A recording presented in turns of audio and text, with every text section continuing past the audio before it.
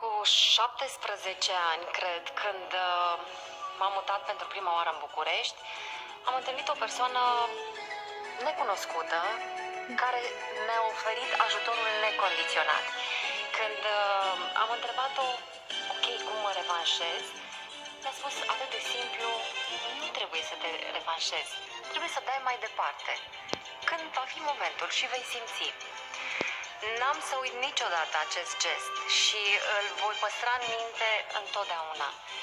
Și spun de fiecare dată când am ocazia, dă mai departe, pentru că binele învinge mereu și se va întoarce la tine. E atât de simplu să ajuți.